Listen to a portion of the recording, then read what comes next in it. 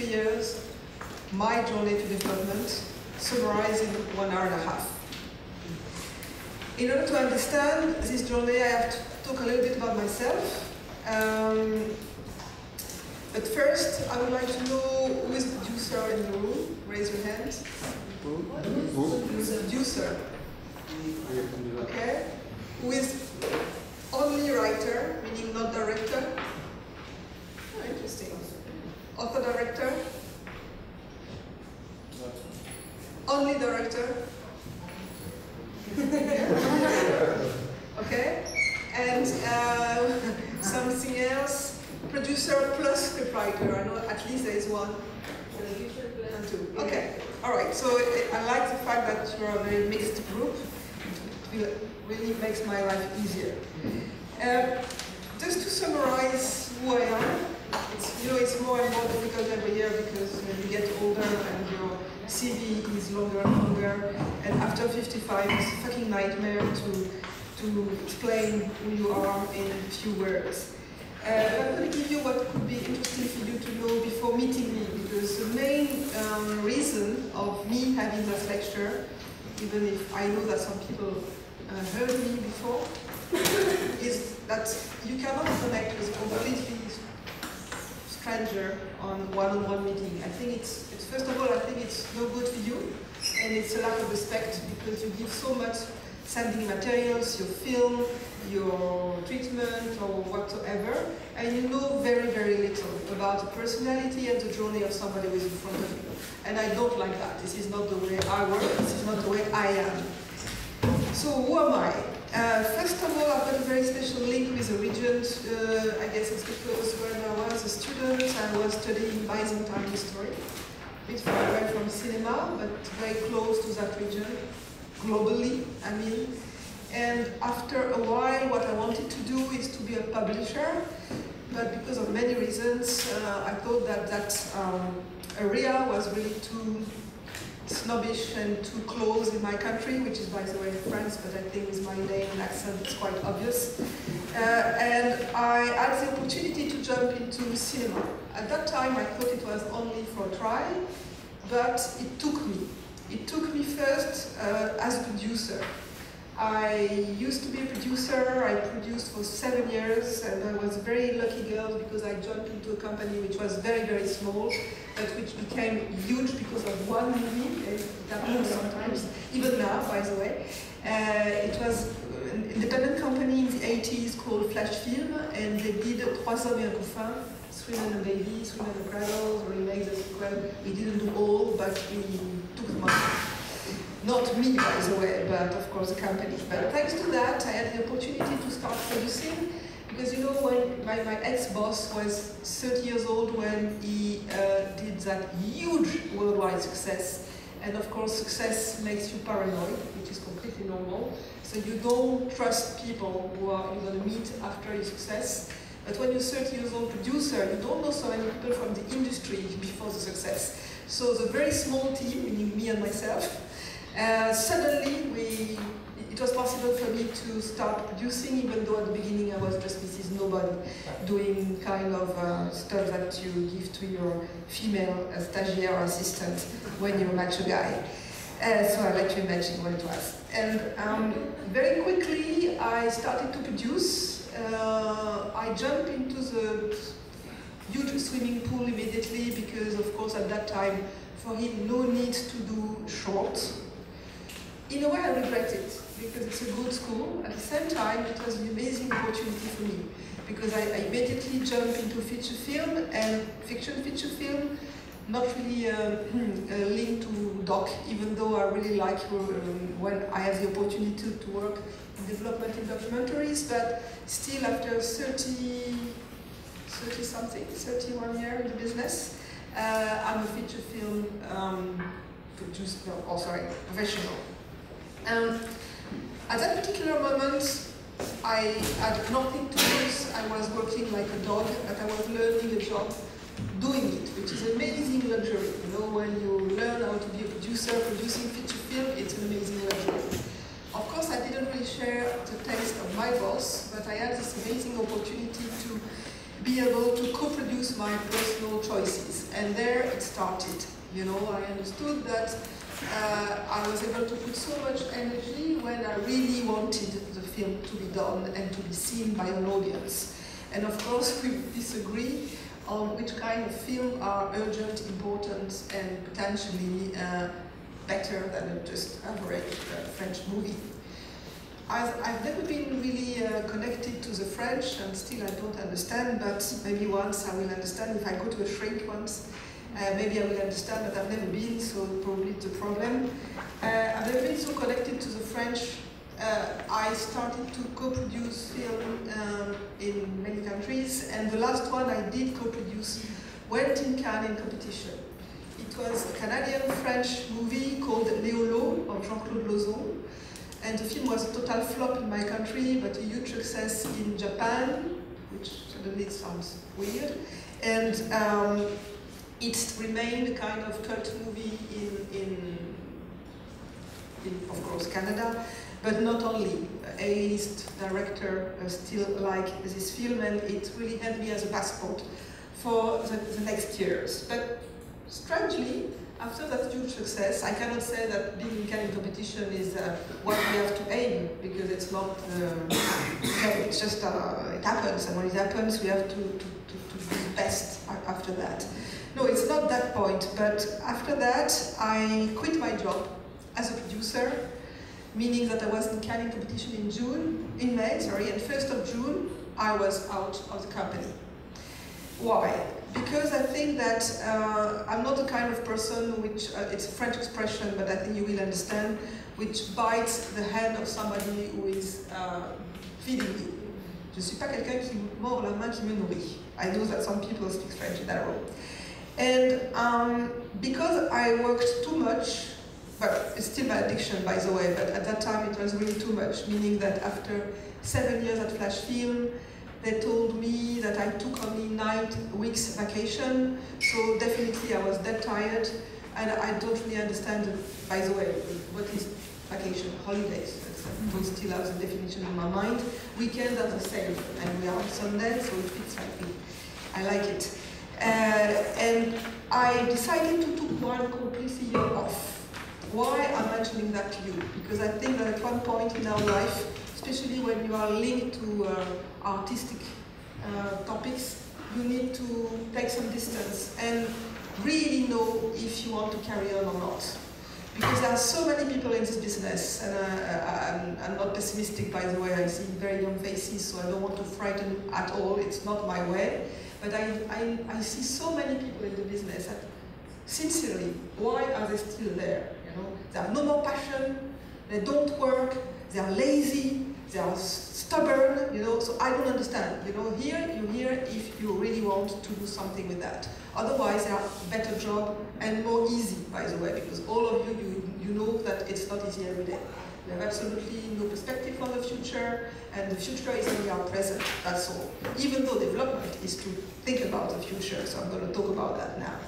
So I took one year off, and um, I punished myself, because in the 80s, I was really the caricature of a stupid working girl of the 80s, meaning that I was making a lot of money, first and last time of my life, and uh, I was kind of uh, every every night outside. And uh, the only stuff that I didn't touch is cocaine because I, I, think that I had cocaine in my vein when I was born because my energy is so high anyway that cocaine would have killed me. So I didn't try.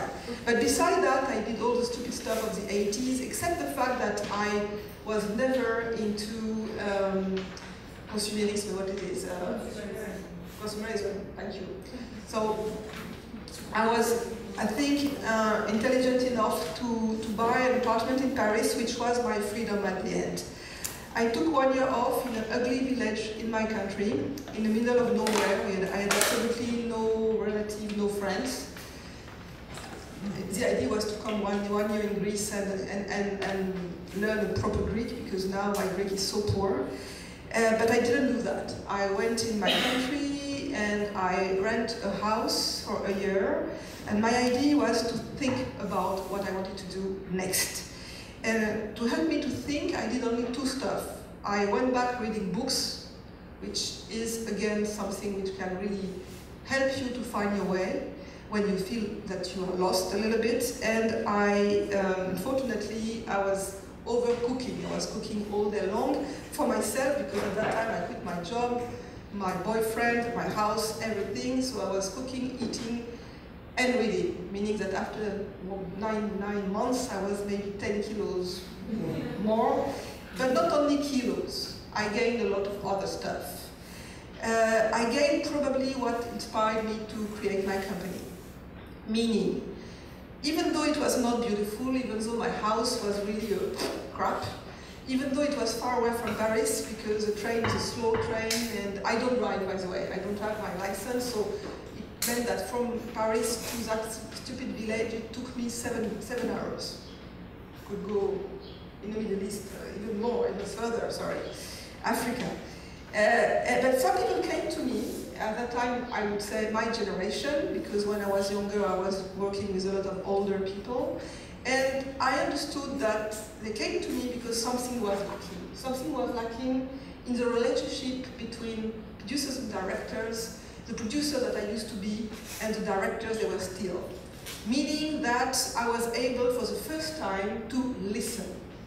Listen to them and try to understand what they want to do and where they can go with what they had in their hands. So this understanding and way of sharing information and trying to nourish them not only with, uh, hey, I can make a phone call for you and blah, blah, blah, or something very quick, but think about it twice, you know? And we did a long journey with directors and scriptwriters. And at that time, when I say scriptwriters, I was talking more about writers because even though we have too many writers, free writers in France right now, 25 years ago, people were, we were only writing for directors, very, very, very few. I mean, probably five people, and three were completely impossible to reach because too expensive, and the two others were not so good, that's why uh, it was difficult to find the right one when you were looking for a co-writer for your director. And I started to think maybe some people are writing books and but are very visual, they would like to move, or some people would like to write for others, but nobody asked them to do so. So I've started to experiment something. It was not yet Initiative Film, my company, but it was who can fit with who, on which film, which level, what can we do to make it happen. I came back in Paris after nine months, and I was completely convinced there was something to be done about development. So when I came back, I had a lot of proposal to jump into bigger company as a producer again, and I knew that this, I didn't want to do it. Uh, I think um, I didn't picture myself being in my old company, maybe because when you start in a very, let's say, rich one, you know that uh, uh, there are some tricky parts in production and you cannot believe that just because you've got the right project it will happen. So I was not picturing myself alone in a new young um, producing, producing, production company. So I had nothing to lose and I, I thought, what if I was trying a new way of work? What if I was you know, trying to be a, an advisor in development and suddenly in my country everybody, even my close friends in the business, start laughing. They really disliked the idea, they thought I was crazy, they thought that I was missing the amazing opportunity to go back into production. And because it is very French, they thought that if it doesn't exist, it means that it will never exist. That there is no need for that. I knew, because I was a producer, that there was a need. As a producer, I was really desperately looking for somebody to help me when I was everywhere and nowhere. And I was desperately looking for somebody with who I could share my doubts and my passion. And of course it sounds a bit romantic, but it was quite practical because I'm a very practical person, you know, I'm not like uh, on my ideas. I work with for people, I don't work for myself. and because I was only 31 at that time, of course, more people were telling me it will never happen, it will never be possible. More I was thinking, yes, I will prove that it will be possible. And because I didn't want to play, um, let's say, the beggar. I never asked for any public money in my life until now, which is absolutely not French either, because as you know, we were, especially at that time, we were the holy land of subsidies in my country. But I really thought that if I was right, nobody has to pay for it, just to help me to, to start, you know, and if I was wrong, anyway, I will jump again in production or elsewhere, I don't know, but I didn't want public money to pay for my mistakes. So I started with three ideas, which start with my definition of development. Because for me, you know, I, I thought that my, my company would be a kind of a tool, you know, a new tool for directors, producers, scriptwriters, and others. And uh, I immediately thought of my company as a little lab. At that time, you had no labs, you know, it didn't exist. Sundance was maybe starting, but nobody talked about Sundance in Europe at that time. But I thought, okay, there is some energy to be put in there. And Initiative Film started in 93 with these three ideas. Identifying talents everywhere, because of course I was not stuck in my country. When I mean talents, I mean scriptwriters, directors, and producers, because for me they are in the triangle, definitely, you know. Same film produced by somebody else will never be the same film anyway. So it's a creative process that we have to share. Then I started to do something which is now what I'm doing a lot, but at that time, for 10 years, nobody wanted to work on that level. I started to scout books to be adapted, you know, and now I think it's a trademark of my company. But for 10 years, people thought it was a stupid idea to, to scout books, you know, also because it's not in their, it was not in their mind to find a book that way. And uh, yeah. Novels, comic books, uh, theater, short story, uh, even non-fiction. Yes, published uh, material, definitely. And then, even though it was not really fashionable, I started to experiment what it is to be a story editor. Story editor who could work when there is no producer on board and when there is a producer on board. And of course, as I was a producer, I always had in my mind that I will never replace a producer. It's too dangerous and you can really break the chemistry between producers and directors. I was very, very careful. For me, it was very important to be somebody who can really leave the boat when you don't need me anymore. And of course, I wanted to carry on on an international level. When I meant international at that time, it was more European plus but I never looked in America, even though everybody was pushing me to go there, telling me your mentality is American. I was so astonished because um, absolutely not. I don't think so.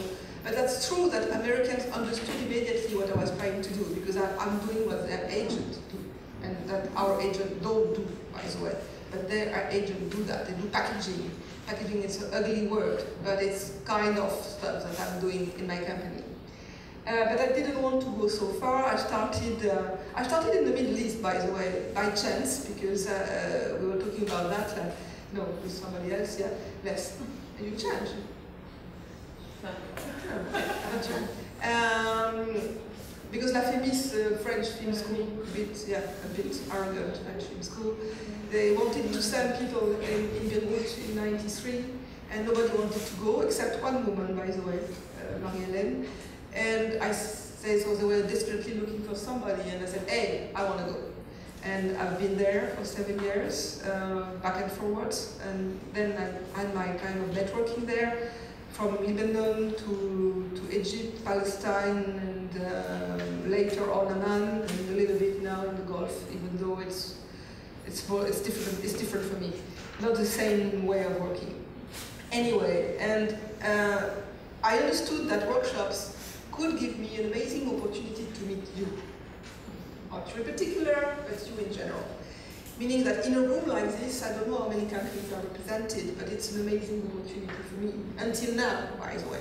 Why until now? Because after a while, I understood that beside my personal links with uh, directors, for example, I, I saw many people from Turkey, and uh, in Turkey, uh, long time ago, I met Eline. Where is, where is Eline? Is she here? No, she knows me by heart. Uh, later, I met Ramin, and uh, later again, uh, I was quite linked with Meeting on the Bridge. I was even in, on, in the board of Meeting on the Bridge, only foreigner, for six, six years before I quit, decided to quit. And uh, there I met a guy, it's called Ferit Karahan, and I scouted him for Jerusalem Film Lab. So what is important for you is to understand that advanced professional or new in the business, we can work together after that kind of workshop. It's just a start, it's just a push, you know. And same in here, I met people in MFI that I also scout for Jerusalem, or I had them in Torino Film Lab because I'm, I'm linked to Torino Film Lab in a very different way than Jerusalem. Jerusalem, I'm only a scout, which is sometimes good to know because we are only two scouts, you know, so, and you cannot apply to Jerusalem Film Lab, you have to be scouted, and you have to be under 45, under 40, I'm sorry. But at the end of the day, uh, those labs are everywhere now, and a, a, long time ago, I was working for Torino Book Fair.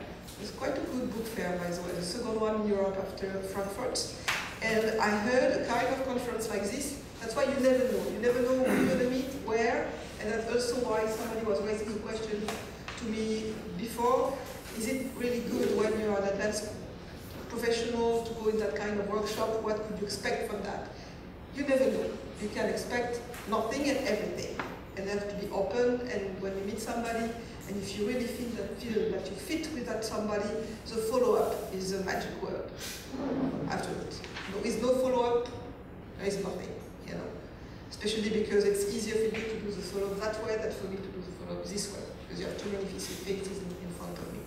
Anyway, in, in, in Torino, I was doing something with uh, the book fair, and I heard a woman, amazing woman, very energetic, uh, beautiful in her heart, you know, like sharing and passion, passionate, and she was explaining what is Torino Film Lab, first year.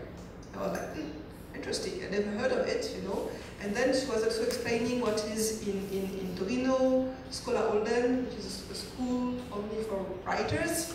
And suddenly I thought, okay, they've got a school for writers, they've got this new lab. A lot of Italian here, the way, uh, many people. And they've got this book fair, why don't we try to do something about adaptation? So I came to her, you know, normally when you go to people, they are all immediately like, hey, hey, hey, it's my baby. Huh? don't step on me, you know? And she was exactly the opposite. She was like, wow, yes, why not? Try to design something. Come back to me with an idea. This is something that you know, people shouldn't say, you know, because if, if you say that to me, uh, I work three nights and four days after, you receive a kind of, you know, then, okay, I want an answer now.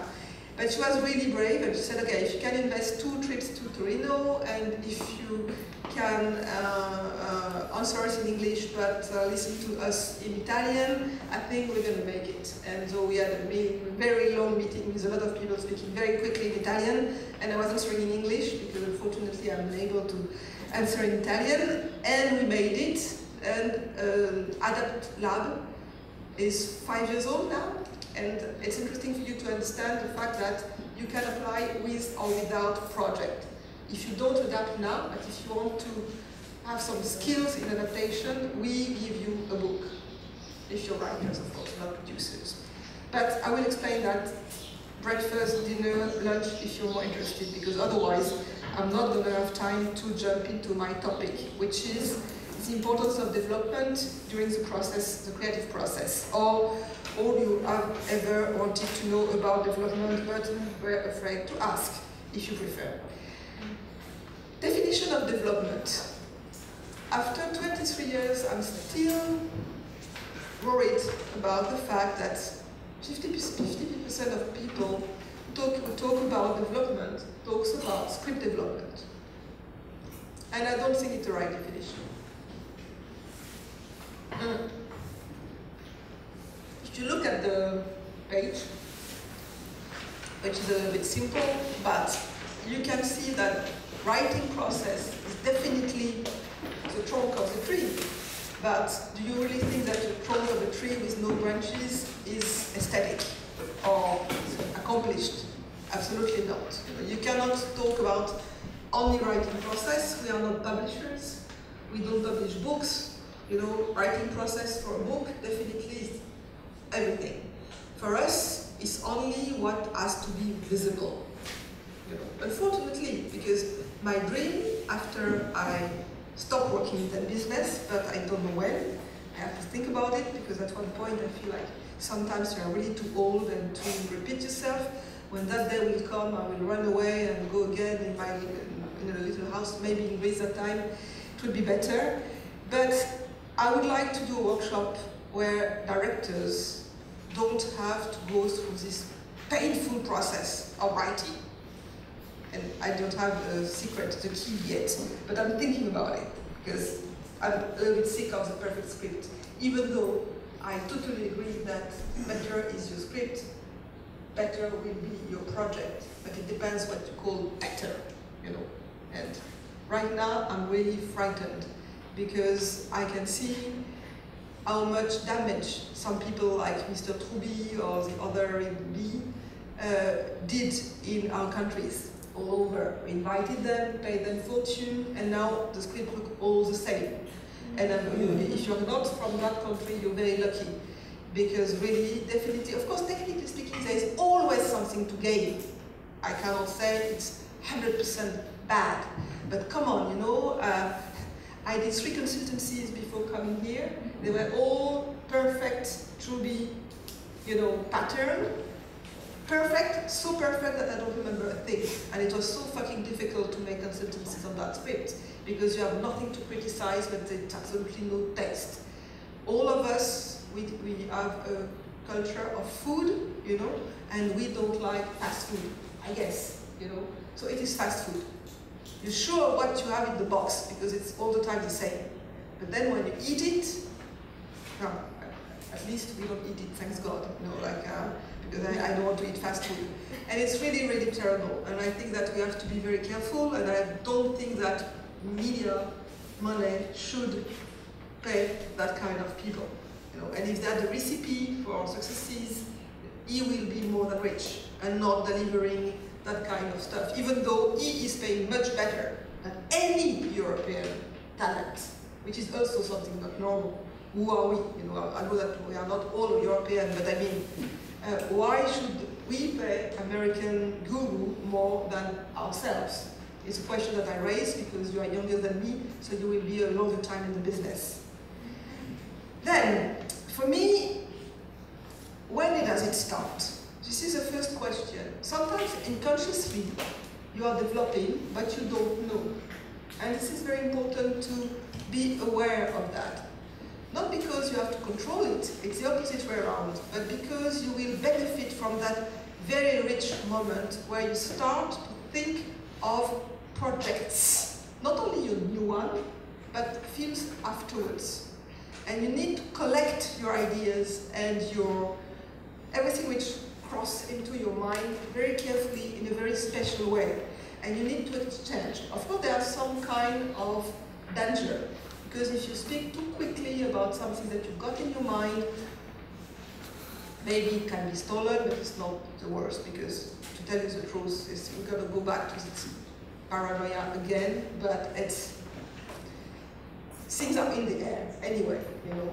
But it's, it's the only way to, to, to really confront the desire is to talk about it. That's why last year, thanks to MFI, I was part of a new event uh, in Athens called uh, Greek Factory, I think. Mm. I'm no good for that, but and and I was skeptical at the beginning because it was about uh, facing people at very, very, very early stages of development, meaning scratch. And both sides, for the participants and for the so-called tutors or experts or whatever, it was really exciting because I know that it's a long journey development, as I wrote, and it is the optimistic version from nine months to what I said, five years or three years. Sometimes it's much more than that. And all of us, we know that, even though we lie to ourselves. Because sometimes somebody comes to my office with a first draft, and we feel like, hmm, we're going to shoot in two years. But come on, you know, we know that It's very rare. You know, it depends what card you have in your hand.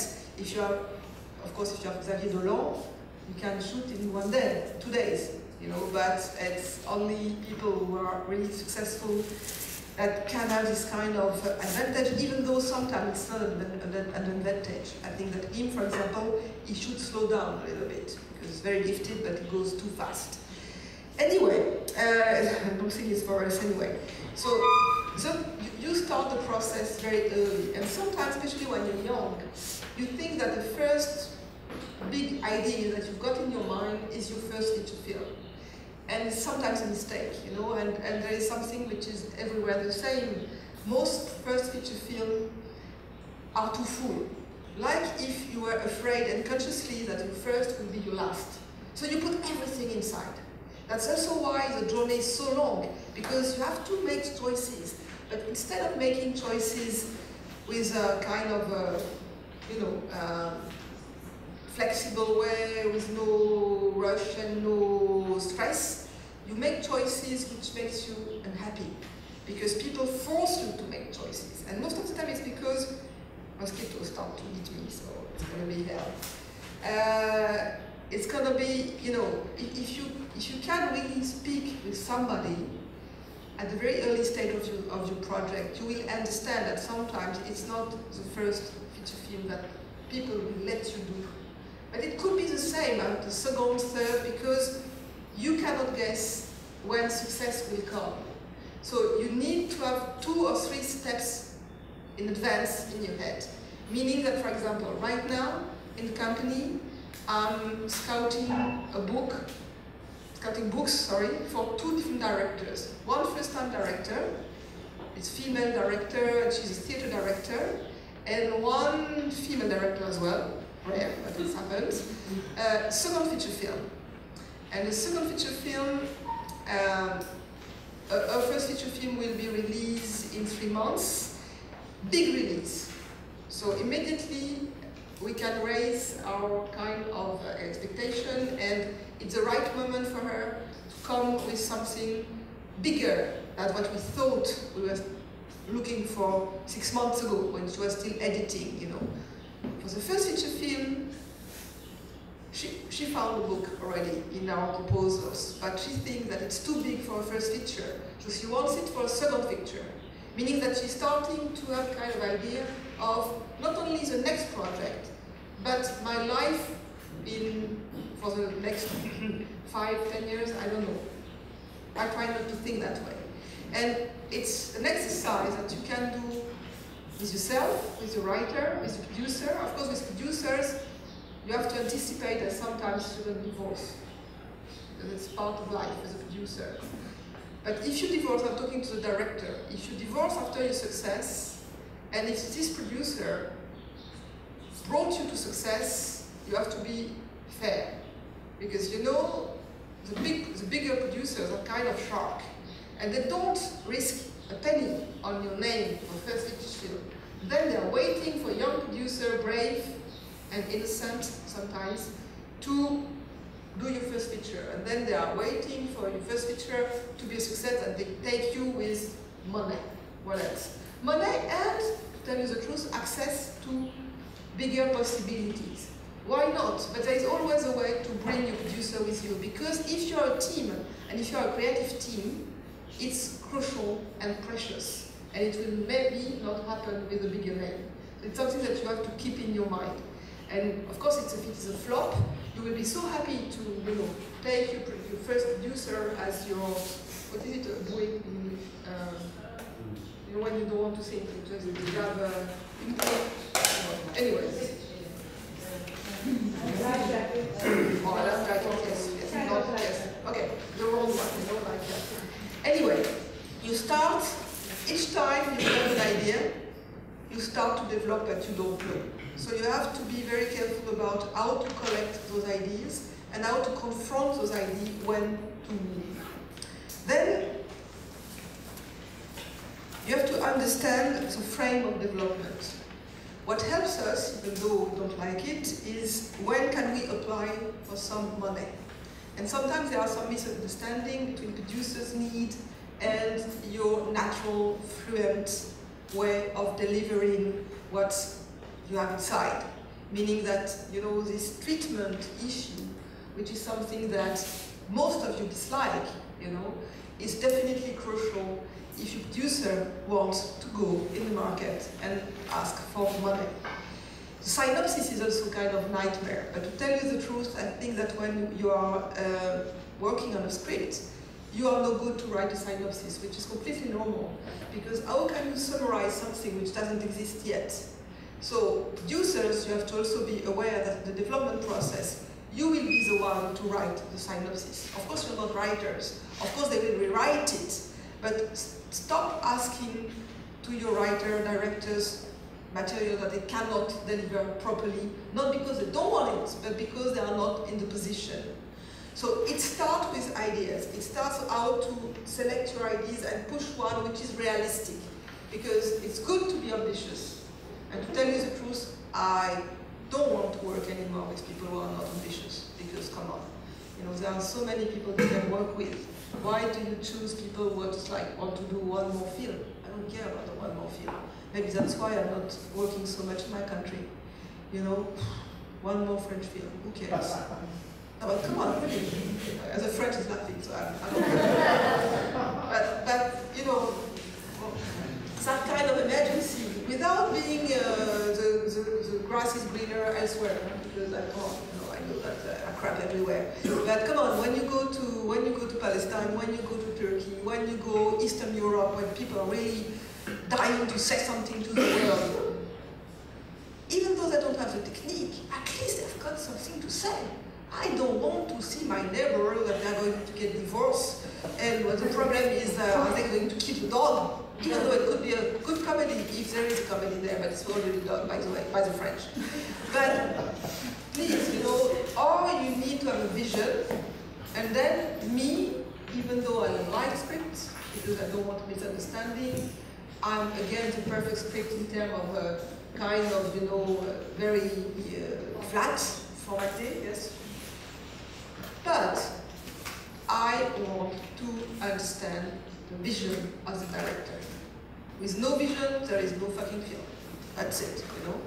And then very little number of people can understand early stages of development. So that's also why it's difficult for you to find the right uh, partner, because I consider myself as a sparring partner, nothing else, you know?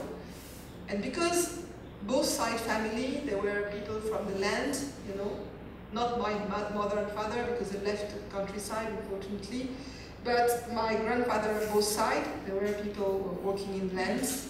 And I was thinking, you know, um, now if you put in my hand some, some seeds, I wouldn't know if the seeds of vegetables or flowers of tree because I know nothing about that.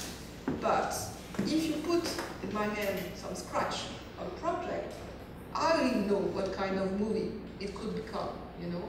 And this is precious during the journey because sometimes the bigger mistake during development, which happens every time, not every time for everybody, but many times everywhere in the world, advanced professional or young professional is when directors and producers, they think they're on the same boat, like you, on the boat, but they are not thinking about the same film. And it's a catastrophe, you know, because uh, during the writing process, nobody really understands. Producers start to finance a film thinking that it is that film, and the director was, is delivering, maybe not that film, do not exaggerate, but that film. And in the editing room, suddenly there is a kind of clash. So it's very important during the development to understand each other. And for that, you need tools, and sometimes for that, you need somebody who is not involved. Because all of you, you know, and maybe that's also why you are in such a workshop, that when we are too close to our field, we don't see anymore. We need some distance. And we were talking before about the fact that sometimes to have voices from country which is not our countries, it's very important because people are not familiar with the topic, they are not familiar with uh, that kind of character, and suddenly they are your first audience, and you can work on that. So in development, you can invite people, but be careful when people are not invited, Because there is a bad attitude that when people are not invited, but then they read your script, they deliver you some kind of criticism just to show you that they are more clever than you work. And it kills you, it breaks your legs, you know. So don't let people abuse their attitude towards you, you know. That's why when you have a meeting with somebody who is supposed to read your script, you have to raise questions. Don't be passive, you know. Be active, you know. If you raise question, you will, you will, you know, uh, handle the situation.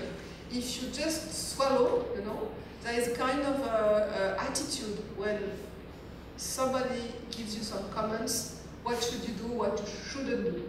I did a workshop years ago which was called Lire et être lu, read and being read, I think, something like this. Uh, because first of all, people who are readers have got a huge responsibility and most of the time they are morons.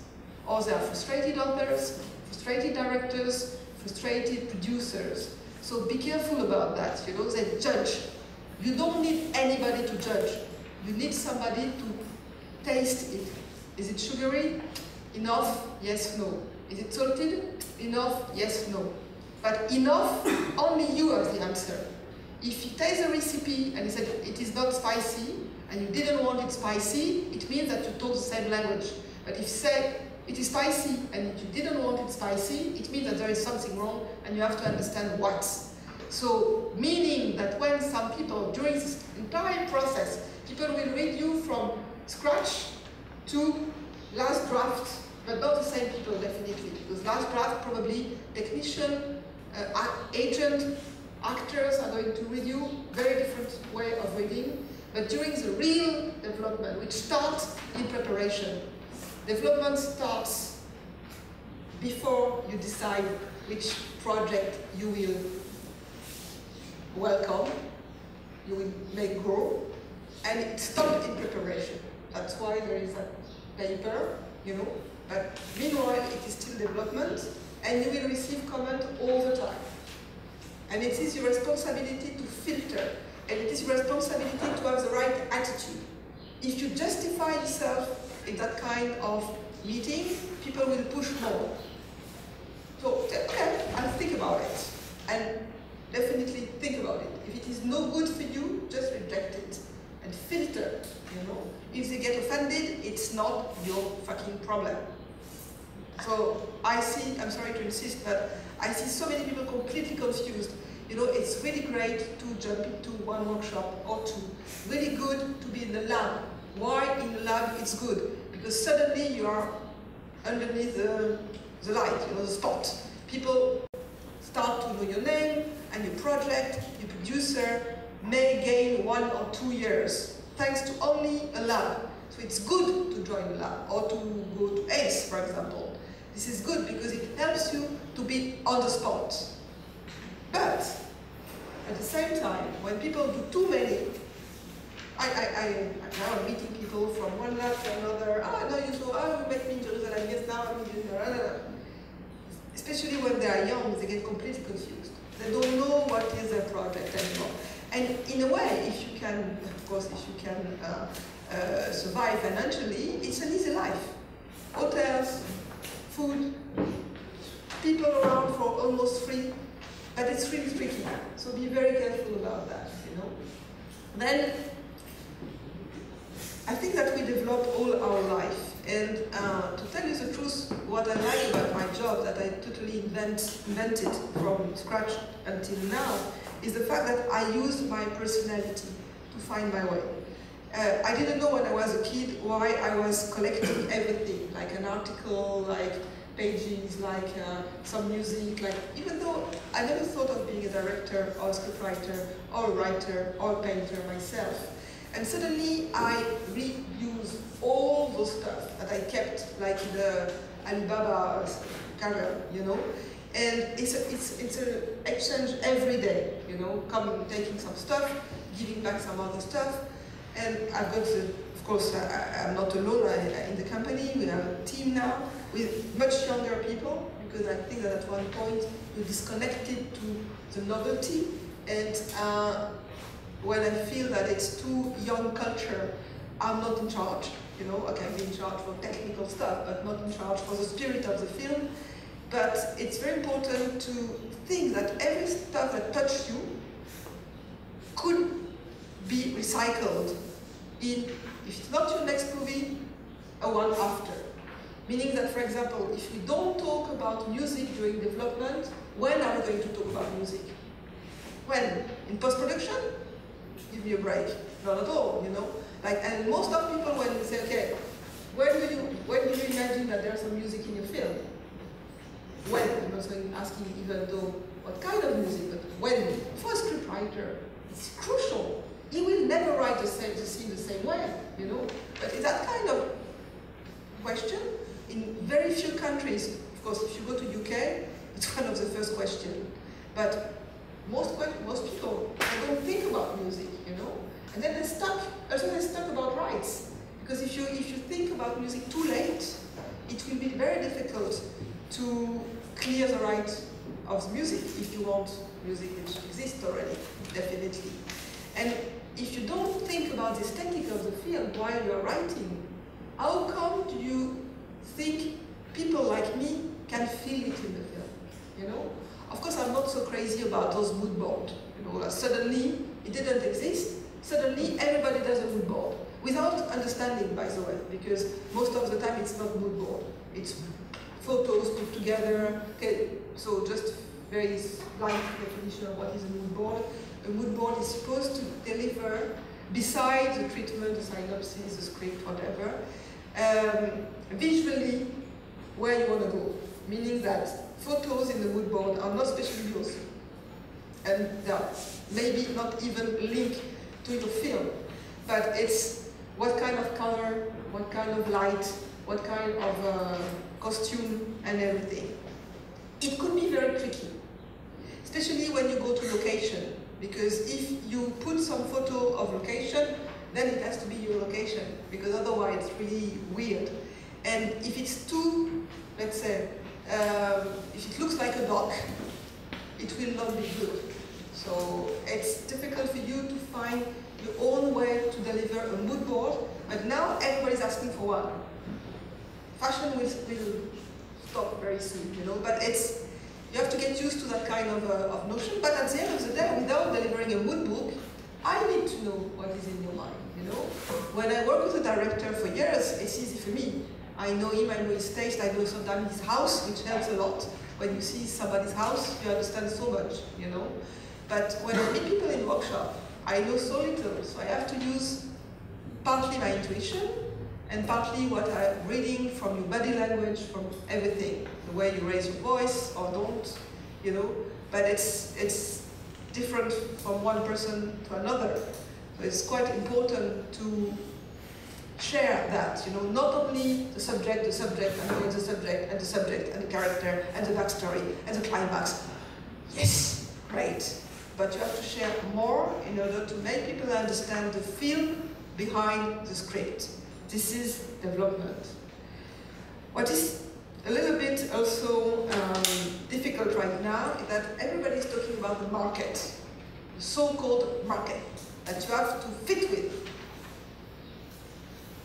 But come on, you know, we can talk about the market when we are delivering commercial movies, definitely, you know, or in the middle, meaning that if you flirt with genre movie, we can talk about the market, definitely, because there is a niche market.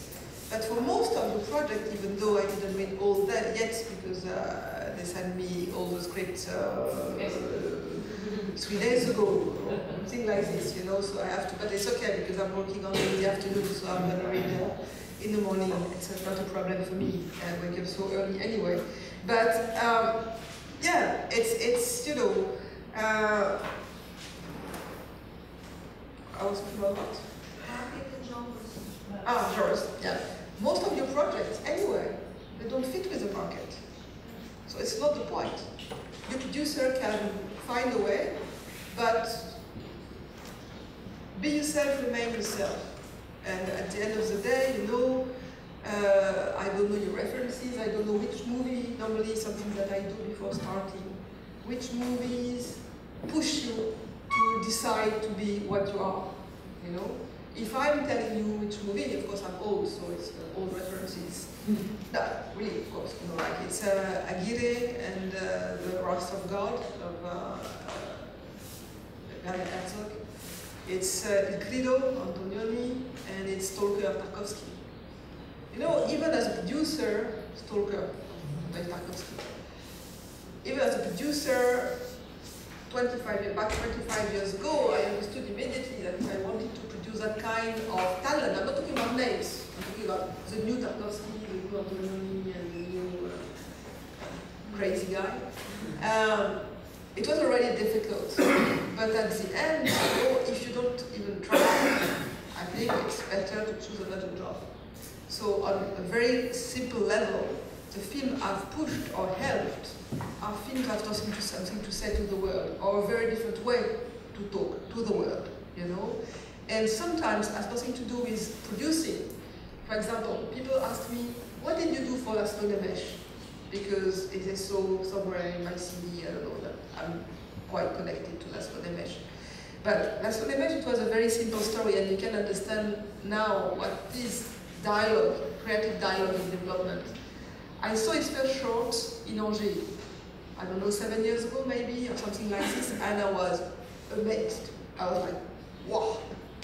And I tried, to, I contacted him, it was not easy because he was back to Hungary, and he, uh, I was writing to him in English, he wrote to me in perfect French, and he came to Paris, we met, and you understand what that kind of person, that you have. Three minutes to make him understand why it could be interesting maybe to talk with me more than three minutes.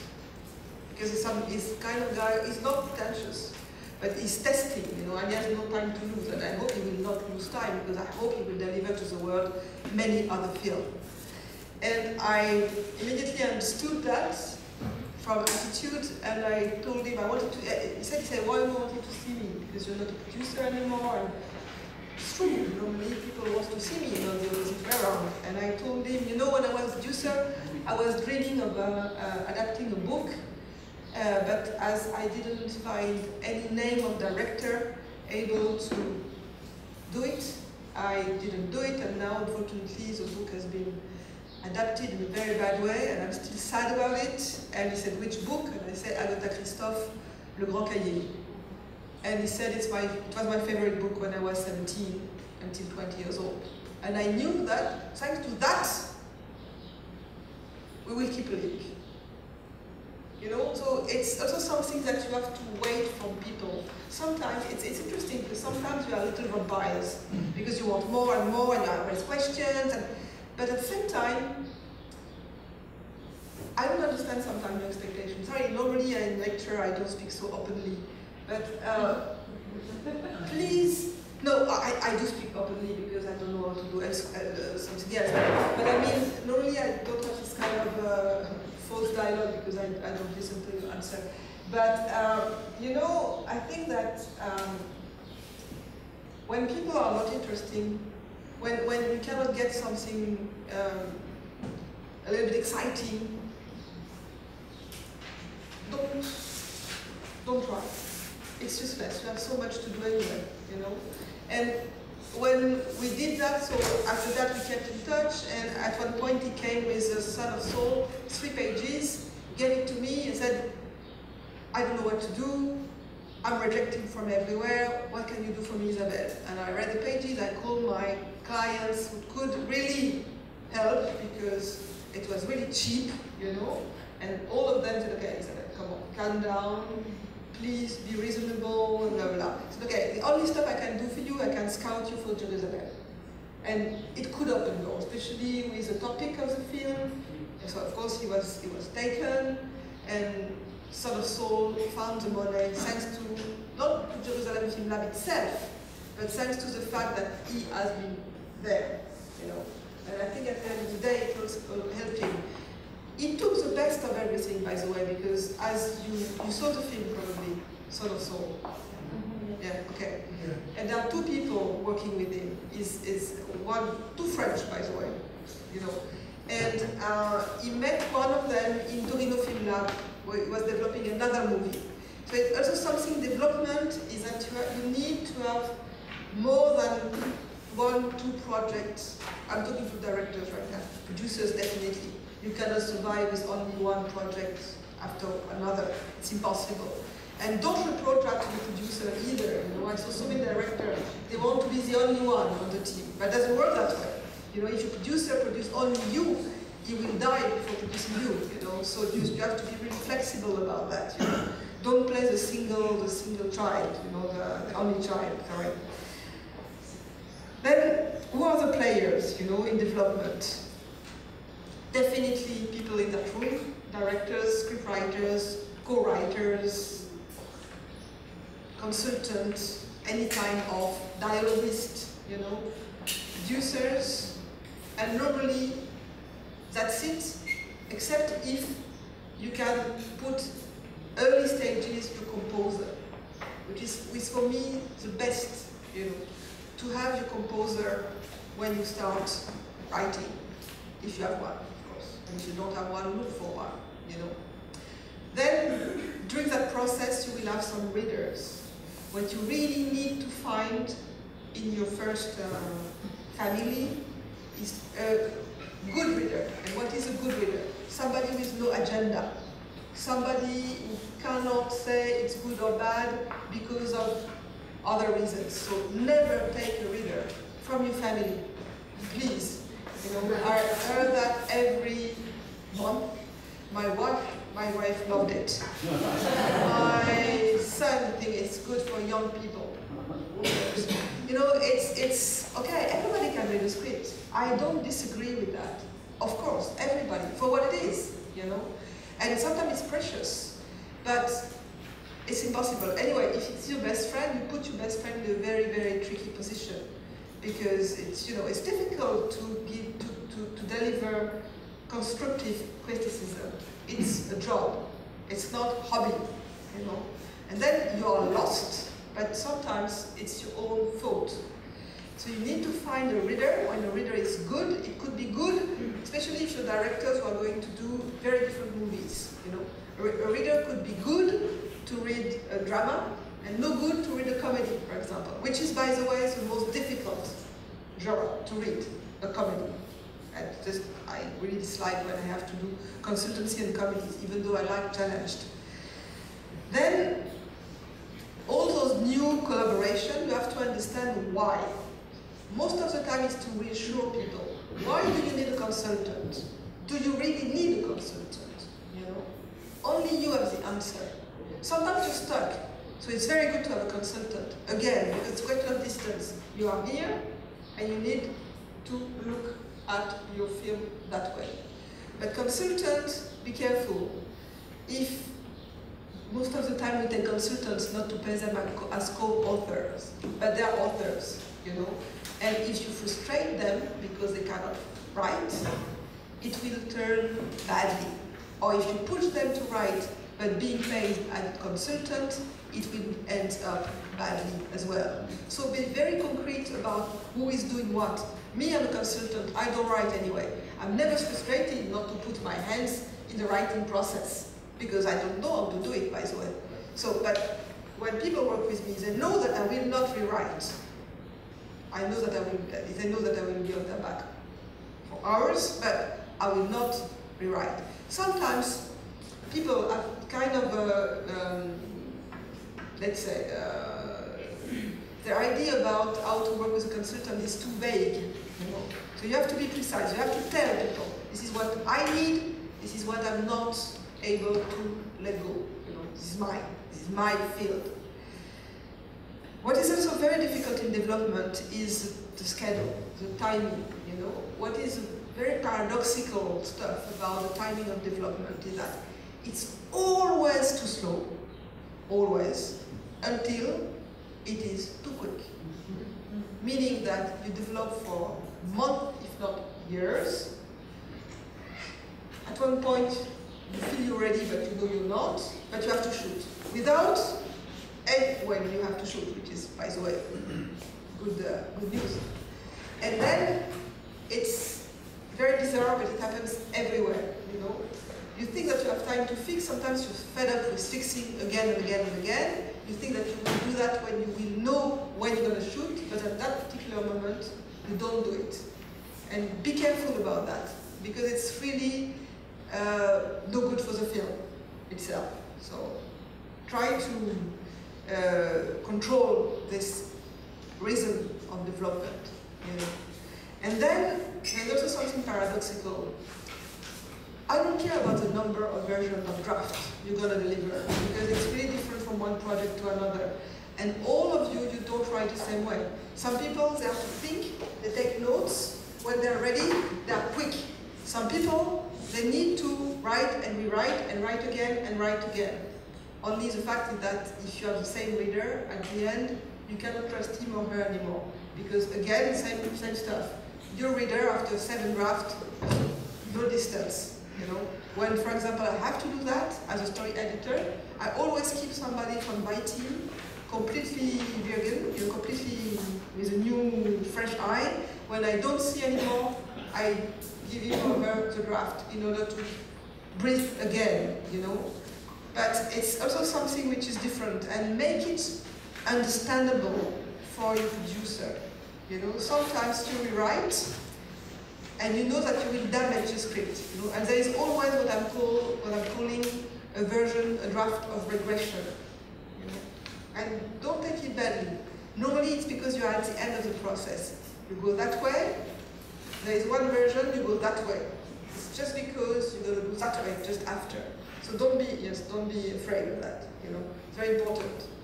Uh, to be able to be uh, yourself in all this journey, you really need some trust. Meaning that you have to create that trust around you and you have to be very, how can I say that? Um, don't lie to yourself. You don't know how many team I see everywhere, let's say in my office, where people that don't trust each other anymore. But they don't want to open that box because they're afraid of what could happen. It's exactly like uh, a marriage, you know, like uh, you can lie, but normally when I'm not talking about having an affair, this I don't care, I'm talking about lying about desire of being together and doing something together. But it's something that your responsibility is to check if you still fit, because if you don't, the time will come when maybe you will do the film together because at the end you will raise the money, but it will not be the same film that you had in mind. Not because it will be different, because of course we work all the time, but because you cannot be the creative team anymore. It's very important to keep that in your mind, you know, and I know that sometimes it's scary because you feel how come can we split while suddenly we are so close to the possibility of doing the film. But really be careful. Um, what is for sure, and maybe that's huge difference between now and when I was a producer, is that um, the competition is really international, meaning that uh, when I was a producer, of course, talking about my country, and for the first time not saying bad stuff about it, we're still the country where we're co-producing film from the world, you know. But in a way, uh, we're co-producing in, in this uh, post-colonial, post-colonialist way, meaning that we are giving money to people like, you know. But we are not co-producing the way that we co-produce now, meaning that it was not partnership, it was public money that we could invest on film. Not bad. It helps a lot, a lot of companies and directors and good movie to exist, so I'm not going to criticize that. But now, we co-produce in a different way. We co-produce with relationship, that's also why that kind of workshop is crucial to you. Because maybe you will meet not only, I don't know who, but potentially your co-producer or the producer of your film after that one, you know. And it's only by meeting people, especially at breakfast in the beach and everything, that you know if you fit. Because it's not only about your CV, it's about human chemistry. And we know that what is very tricky in that business, we can call that a business, but it is, it's an industry as well, is the fact that um, for producers, for example, it's really, it's really weird. Sometimes we really like a script and we meet the people. And suddenly we realize that we will never fit. We can lie to ourselves, of course, but we will never fit. Same with co-producers, for example. You know, and, and the opposite way around. Sometimes we are not really enthusiastic about the proposal, but we really fit with the people. And the second option is very good because we can grow together or we can go somewhere. If we really fit, if there is something which could be creative in the team working together, there is always a way to develop something which reflects your both ambition, you know. But if you love a project, or sometimes you love it, I'm talking to the producer, because you know that you can raise money, but you don't really want to, you don't really want to admit it. But why not? I can understand production, production, production companies, they have to, you know, uh, work, otherwise they will die. And it, it will never go where you want to go. It's a question of uh, human history, and that's also why I think that uh, when somebody reads your script or has a meeting with you, if, if it doesn't show you or she doesn't show you here his or her personality, it's tricky because you cannot benefit from what he or her will deliver to you. That's always why I do a kind of whatever it is called in workshops because I don't fit with everybody, of course, you can imagine that. Uh, but at the end, people know my approach. And they know, okay, it's not for me, or it is for me, or I don't know, but let's try. But it's, it's really important to be equal at the table. You put a lot in your script. Some of you, it's very autobiographical, autobiographical, autobiographical uh, it's autobiographical. Help me. Thank you. I, I think you're the one I think I have to look at. Uh, and it's not easy. And suddenly you have few stranger talking about it like if it was like, uh, you know, this. No, it's unfair. You cannot accept that. Don't do it, you know. Put your limit. And most of the time, because it's, it's a question of power, I am on that side of the table. You are on that side of the table. Yes, but I need you as much as you need me. And it's the same everywhere, you know. All those people who decide to fund and blah, blah, blah. Without you, they have no fund to, to give, you know. So, of course, it's a little bit naive, but when you're in front of them, your attitude will change if you remember that, you know. Most of the time, we are facing people like if we are begging for money. If we do that, that's not going to work. Never. You know, doesn't mean that you need to be pretentious, by the way. We have so many of those people as well, so it's not necessary. Uh, you need to recycle all the time, meaning that when you drop a project, which is natural part of development, you know, think about it. When you start development, or you start developing a project, you never know if that field is loaded enough or is lucky enough, let's say, to be in production in three years, four years, five years. You never know. Of course, it's cruel. But at the same time, even if it doesn't, you can recycle most of what you've done in that project. If you're very young, you will recycle the skills. You will recycle the fact that it's not easy to go until a seven draft, for example. If you're not so young, you will also test where you are and when you are. Because one little example to make it understandable. You start, let's say you start, who is the youngest? You know, people know. Huh? You seem to be the youngest. No. No, in front of you. Yes. Uh, I'm 23. I'm the youngest? How old are you? 23. Am I? Is there, is there somebody younger than her? Oh. I'm good. uh, you know, when, when, when you're when you're when you're young, you need to um, carry on until seven drafts, six drafts, and it's it's really difficult, you know, and you can recycle that anytime.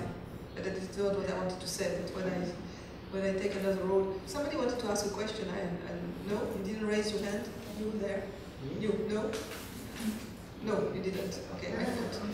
By the way, you can interrupt me, even though it's not so easy to interrupt me. But yes. I have a question. Yeah, good. Can you, could you say something about the balance one has to hold all the time as a creative between the enthusiasm which we have and the energy which we have to keep up and the relaxing into the situation that you go waiting for France, waiting for the producers, waiting for You want some kind of uh, psychological recipe? No. Okay, I, I, I. I remember what I wanted to say. Sorry, I, I'll go back to you immediately. Um, if you start working at 24, 26, whatever, so you're anyway, uh, years old, and you've got your perception of the world, definitely, which fits with your age and generation. Just imagine that you'll be able to do that film at 31. You'll be a completely different person. Know? And then you can say to the eh, eh, producer, eh, hey, hey, hey, hey, hey, that film, I cannot do that anymore, come I was 24 when I thought about it first time, and now I carry on. I'm, I'm not the same person. I don't have to say this, I don't want to say the same stuff, or the same way, it depends, you know. But I have to, because it took him three years to finance your film. So your responsibility during the process is to add your experience, to add your new vision, to explore who you are, and not to be stuck in what you thought you had to do when you started your journey to development. And most, if I'm telling you this, it sounds obvious, of course, but it's not obvious because I can tell you, I have examples, tons of examples. It is something that I didn't tell you, but um, in my company, I I'm reading maybe 400 to 500 scripts a year. I'm reaching maybe 700 treatment a year.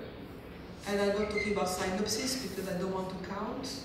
Meeting, if I if it's meeting, I don't know how many people. That's why I know that some people met me before, and I'm sorry when I didn't remember your face. It's just a question of too many faces in my head. Uh, but I remember your voice after when you talk. Not your face, but your voice. Uh, then, yeah, and it's, it's kind of a good uh, range of projects to know what kind of mistakes people do most of the time, you know. And it's not a judgment. We go back to the psychological way to balance uh, enthusiasm and and um, and what and how to how to wait. It's quite easy. If you wait, you're dead already. You know. It's just uh, again think about it. Think about a garden. Just imagine that tomorrow you've got a garden, and you decide to have a, a cherry tree. You know, are you going to wait until the tree is big enough to give you some cherry? Maybe you will you will put strawberries because strawberries in three months you have strawberries, and you eat strawberries before eating the, the tree the, the cherry. You know, but if you want to eat the cherry, and if you wait for the cherry, you're dead already. Because maybe the, the, cherry tree will never deliver cherries. Maybe there will be a windy day where the cherry tree will die. Maybe you will not be able to eat cherry after seven years because you're going to be diabetic and it's too full of sugar. And this is what is happening with development. So you have a garden. You are the garden, you know. You have to think about what you want to plant in your garden. And you need to plant some stuff which grows in a very different speed if you want not to starve and if you want not to get too nervous or too bored. But it's, it's really responsibility whether you are directors or producers. For scriptwriters, it's more tricky because they are not going to start working without you because you know that except maybe in UK or US or Australia, people are very happy to find in their letterbox some uh, cooked uh, draft of project in order to jump into uh, direction, to filming. But elsewhere, people don't want that. People are more of the directors. So if they receive a script, they will say, ah, maybe it's a nice script, but it's not for me, or not for now. You know, so scriptwriters, they cannot start writing on like this, you know, um, on spec, as it is called, if I remember well. They cannot do that. They, they would like to do so. Also because for them it's a good passport. You know, when how, how come do you know if you can work with him, for example, with only a scriptwriter?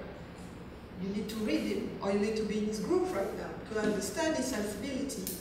Uh, that's also why something I forgot to tell you. I, have an online platform for, which is called Talents Travel because my obsession is how to make people work together when they are not in the same country. When I was younger, it was impossible. No Skype, no internet. Yes, it's so weird to say that. No Skype, no internet, phone. Okay, but you cannot co-write a script on the phone, you know. And then now we've got tools. So we can work with a Turkish. Uh, I can I can put you in touch with a Spanish director or a French producer or a Danish. I don't care about nationality. What I care about is your skill your sensibility, and if you fit with a project. So I'm casting all year long scriptwriters, and sometimes it's funny because I present people from the same country that they didn't know it, they didn't know each other. Because it doesn't exist, that tool doesn't exist, you know. Um, yeah. Uh, it's, it's, right now it's, it's not public, it's only my own stuff. But if somebody is good to raise money, this is something that I would like to do, but uh, public, but I'm no good for that, even though I was producer. Uh, so uh, unfortunately, it's just private, meaning that uh, every writer I meet is, if can work in a language which is not his uh, native language, is in my platform. If I do believe in the, of course, it's, it's subjective, if I do believe in his talent because I'm the one to scout later. And what's happening is that many producers and sometimes directors, they come to me with a script and they are stuck. It happens many times and they want me to um, cast uh, a writer or co-writer and I'm back to my talents travel database in order to find the right people at the right moment and at the right rate because of course some authors are too expensive in some economy, and it is also something that definitely, if I'm not obsessed by the market, I'm obsessed by the cost of the development, because as it is a long journey, we have to be very realistic about what kind of money we can raise, how can we live when the film is stuck, again, not only psychologically speaking, but economically speaking, and uh, because this company is 24 years old now, I have to be very, very realistic. Uh, I cannot say it's a success because economically speaking it's not really a success, but at least I'm doing every day what I like, the way I like, and most of the time with people I like. Amazing luxury that I didn't have when I was a kind of um, trendy producer based in Paris. And it's really what I like from my little company. Good. So to, to understand it in a different way, even though it sounds a little bit um, uh, weird, I would like to uh, carry on with that comparison with garden and, and agriculture. Uh, and I'm going to turn my look to my um, my translator because you know this I didn't prepare it in English, so I have to uh, ask for some word that I don't know.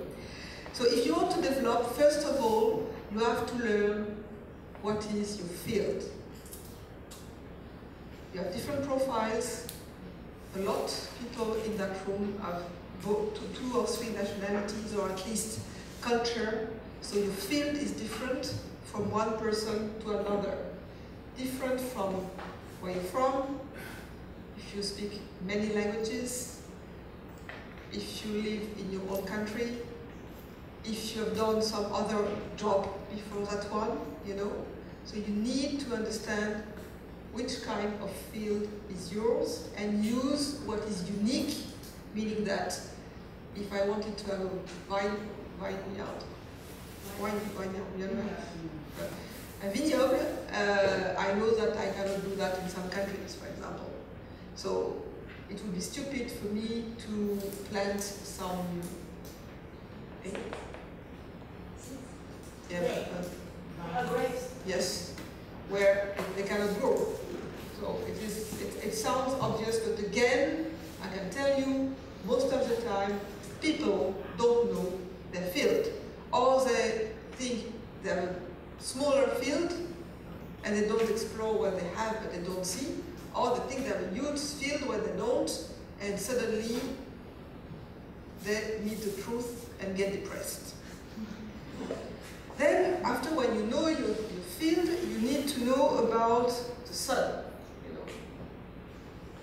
is there a lot of sun? Just a little bit. I am south or am I east? My field is southeast, southwest, and you will have to understand what you have to fix according to that physical rules. Of course, same with uh, with the rain. And then comes the seeds, you know, and I'm talking about seeds, not seed. Don't have only one project in your head. Again, I'm sorry, I repeated that too many times. And when you have many projects, different sizes of project. One, very low budget, but please don't think that because you are in countries where you cannot raise money anywhere, you need to have only low budget. It's untrue, because when we meet success, suddenly, okay, sometimes you just want to do global jet, and it's fine for me, there's nothing to do with that. It's again, it's your field, it's not mine. But if you have something very ambitious in your mind, and you feel like, oh, because I'm from Slovenia, for example, who is going to put uh, 7 million euro in a Slovenian movie? You never know. Because if at one point you are in a successful festival, doors will open and you will have nothing. Same on the opposite way around. If you have a big flop, if you don't have a very low budget, no doors will be open anymore for you. It happens in my professional life so many times. So many times. Even as a producer, one of my potentially future clients, because we didn't sign yet, uh, is a producer from Iran. She was on the jury of Festival de Cannes this year. Amazing woman, and she told me, I came to you because even though she was already very successful, I didn't understand what it meant to be jury, main jury in Film Festival. Everybody is asking for project from me, and I don't have. Because I, I never I never developed more than two films and jump into one other and mostly 99% Iranian and now she has two companies, one based in Paris, one based still in Tehran, and she wants to welcome projects from the world.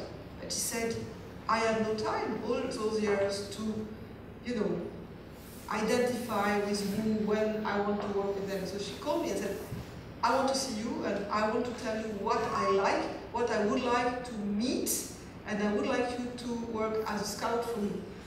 So it's interesting for you to understand that even for A-list producers, it can happen. Suddenly, you have possibilities.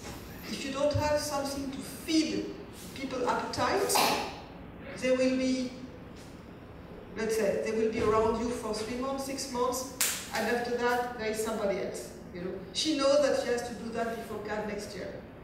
So it's challenging. It's challenging. And Sometimes you have to understand that you need, uh, this I'm going to ask for help, engrais. You know what is engrais? When, you know, fertilizer. Fertilizer, of course, but not Monsanto one, please. You know, not Truby one, which is, is a Monsanto of, uh, of I think, of uh, script writing. I think you love me because I'm, I'm, uh, I'm uh, I think you're filming me. You know, I think. Um, anyway. Yes, uh, we need fertilizer. What is fertilizer? People like me. I'm only fertilizer, by the way. It can help when you're stuck, can give you advices, put you in touch with other people, read your script, give comments, etc., etc. And you never know when and where, but be open for that. Don't be like this, like most of people. You know, I really don't at it. Um, you have to know, of course, if you're a producer, uh, your capacity of raising money in which project, at which moment of your career. Of course, we have to be dreamers. Producers as well, because if you don't dream, you don't produce, you know, because come on, we start to, to, to believe in something which is only pages, very difficult. But then you really need to understand what you can reach and when, very important. Then you know, you need to know if the plants grow fast or slow. Again, the question of the, of the cherry tree, you know, don't wait for the cherry, you know, plant some strawberries. Meanwhile, very important. And you need to know your team, meaning that um, sometimes when you're stuck and when you don't want to have a consultant, the best way is to welcome technician during the process. I'm talking especially about editors. They are very good readers. Very good readers, they, they give you some feedback that no other reader will give you. Meaning it's technical in a good way, and it will help you not only to accomplish the last draft, but to start thinking as directors. Because you know, the danger when you're stuck as writer-director for too long period of time without a co-writer is that you start thinking as a writer and your head is not free enough to think as a director.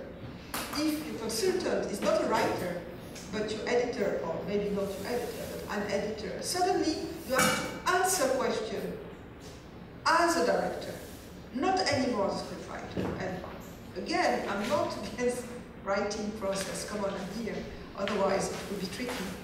But again, if you're author-director, at one point you need to be only director. And you have to understand when, it has to be very organic with your needs. You shouldn't try, especially because the first film is quite difficult, but it's much easier than the second one. So be very careful about that, you know. The industry can give, can open its door once, first feature, is the first feature, and, it, and, and of course it's unfair. Of course it's unfair. There is no justice in that business. There are morons who are doing film for the last 20 years, bad movies, not even big successes. We don't understand why and how, and there are people very gifted which cannot access to the money.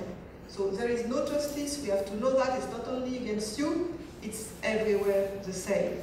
Probably those people are good in politics because it's also about networking. So during the development, you really need to increase your networking.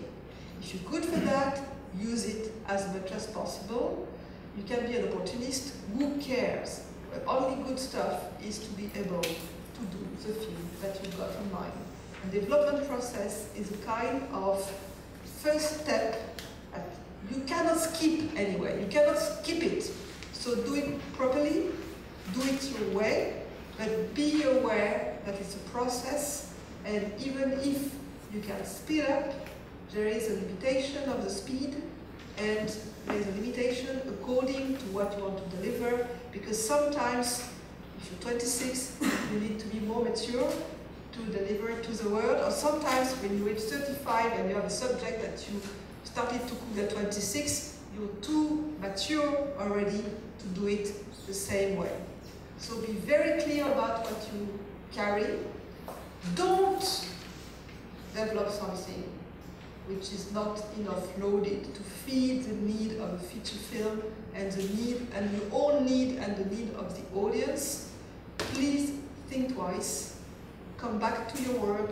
Sometimes you can put two stories together or the opposite way around. You can take away one piece which doesn't belong organically to your first feature because in the first feature again you want to express everything and it's not the point and then enjoy the journey as much as you can and I hope that we're going to share part of the journey here or somewhere else during a fashion Thank you very much.